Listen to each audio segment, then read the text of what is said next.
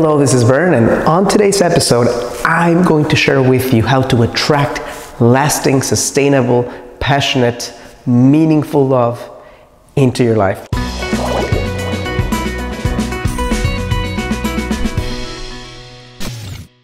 Hello, this is Bern, and welcome to your GreatLifeTV.com, a space where I share with ambitious, conscious, successful, heart centered women like you how to create the relationship of your dreams and attract the kind of quality man you want. No need for gimmicks, manipulations, crazy techniques, simply as a result of being the most alive, feminine, high value version of you. Now, video number one in this five part series was all about removing obstacles that prevent you from attracting love into your life. This one is how to attract that human being, how to call in that human being into your life and do it in a place where you are becoming more of you instead of turning into someone you're not. Step number one is simple but it's so powerful and so meaningful. And I don't suggest that you start this process without doing it, which is reconnect to your own source of light. That means be like the sunshine, not the moon. The moon needs the reflection of the sun to shine in the sky.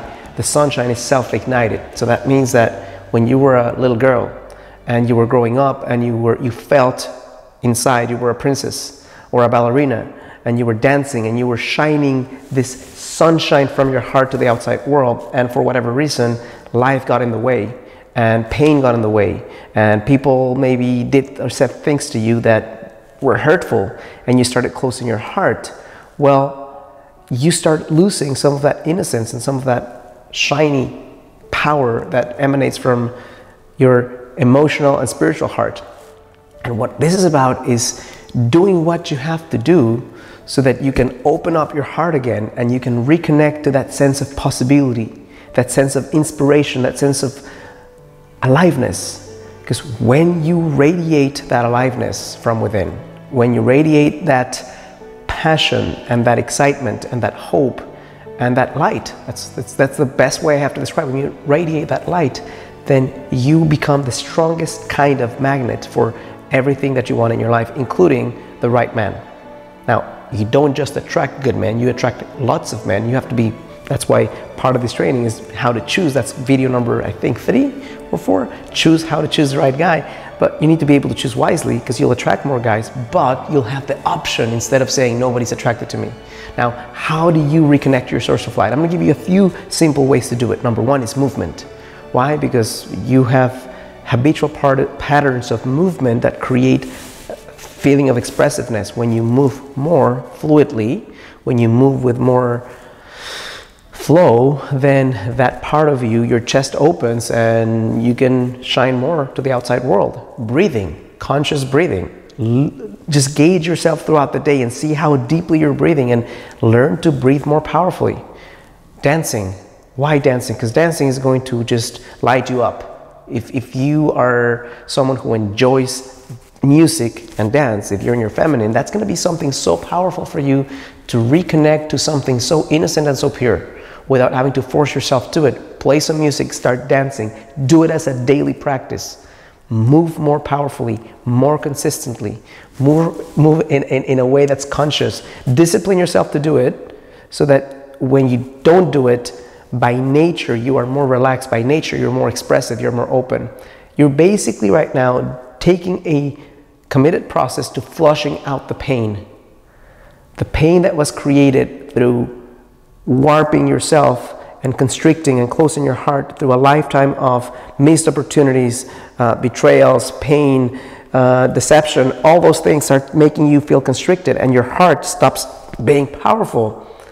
Well, it's about reopening it again. So that's step number one. Without this one, it's going to be an uphill battle to attract the kind of man that you want. Why? Because the more open you are, the more possibilities you'll find. Number two, find a consistent source of inspiration or consistent sources of inspiration that again train your heart that it's okay to open. Why? Because if you're going around with a semi closed heart or with a shut down heart as a result of pain and the experiences I just described, then the way to open it up again is to fill it up with something that makes it feel alive again. So find sources of inspiration, whether it's poetry, there's different books that will inspire you, inspirational stories, inspirational videos, inspirational movies, quotes, uh, incantations, uh, affirmations, anything that you feel, prayer even, anything that you feel reopens your heart.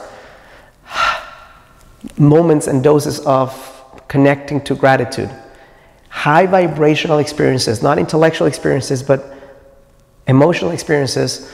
Tell your heart, train your heart to open again. And I'm not talking about the muscle of your heart that's pumping blood. I'm talking about the spiritual heart inside that makes a connection with a human being, that touches him in a specific way, that makes him know that you are someone special and you are someone worthy of pursuit. Number three, define what's essential in what you want. Define what's essential in what you want is like define not a 25, 27, 50 page list of attributes in a man. What are the five, six, ten tops highest virtues, qualities that you want to find in a man. Make sure that you're clear on them. That's only part three because part four, without part four, part three is a waste of your time. Part four is define based on the kind of man that you want, based on the kind of partner that you're seeking, based on the kind of relationship that you want to commit to, who do you have to be? What are the values and virtues? What is the expression that you need to step into to be a strong, resonant match, that man that you so vividly described on a piece of paper, well, sometimes you have that down. You know what kind of man you want, but it's a mismatch in terms of how courageously you're showing up, how much self love you have, how much inspiration you feel, how clear you are in expressing your boundaries. How, I mean, there's all these different things that you need to be able to step into and work towards so that the person that you're seeking and the person that you are are a very high frequency resonant match. Number five, step number five in this seven step process is you need to focus on practical, actionable, and by actionable, I mean put them in your calendar, things that can help you to close the gap between that woman that you hope to be and the woman that you are today. Where do you need to close the gap? Do you need to work on being more expressive, working on that. Do you need to work on connecting to your sensuality? Work on that. Do you need to work on expressing your true voice? Express your true voice more powerfully. Do you need to work on being more, less, I guess, reactive when you express your true voice? Maybe that's another different type of problem you might have. So, focusing on how to close that gap daily, consistently, in a disciplined way, is going to be part of what gets you closer to attracting that kind of human being that you want. Number six, define in advance the highest boundaries that you want to hold to feel safe in exploring a potential relationship. So, what does that mean? That means that you need to know not when it's happening, but before it's happening, if you allow for a guy that you don't know to come pick you up in your house, or if you feel that's a scary thing and you want to meet him several times in public places before you make that take that risk, right? So, it's defining that that would be one boundary. Another boundary would be when do you kiss the guy? When do you have sex with a guy? When do you become exclusive with someone? Uh, what are the respectful things you need to feel from him to move forward? If he asks you on a date, first date, is he paying for the dinner or you're paying for the like? You, if you if you take some time to in advance plan for what is it that you want and what makes you grow, that will make it so that when you're feeling a little stressed or anxious or you're feeling worried or you feel strong chemistry, that you have at least something to go back into that lets you know if you're moving far off from your ideal, from your values, uh, and, and maybe you need to step back a little bit and reevaluate. Number seven. Yes, once you've done all those things, then then it makes a lot of sense to create more consistent, more frequent, and more conscious connections with men, which means smile more often, ask more questions, go to more places where guys congregate, uh, initiate conversations if you need to, uh, flirt from a distance, like all the things that most people do when they say, well, you want to connect with a guy, well, create connections.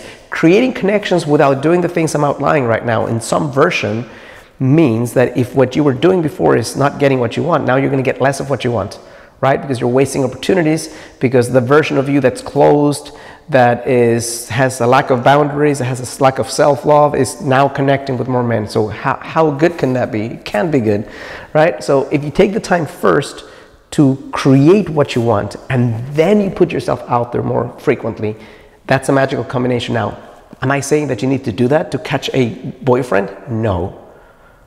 All you need to do to catch a boyfriend is put on a tight skirt, go to a bar, and you'll have three boyfriends that night. However, if you're talking about how do I create a meaningful, lasting, passionate, best friendship with someone, the skills and the, uh, uh, uh, and the things you need to do to create that type of relationship are different than if you need if you wanted to create something more basic or more loose. Does that make sense? So hope that when I'm outlining the steps, you're not saying, well, it's too much work. It's not too much work relative to what you get. It's only too much work if what you were going for is something meaningless.